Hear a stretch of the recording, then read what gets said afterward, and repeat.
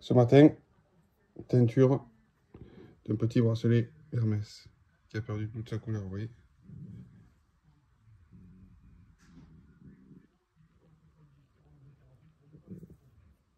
Et voilà. Tout coloré. Prêt pour une seconde vie. N'hésitez pas à nous contacter.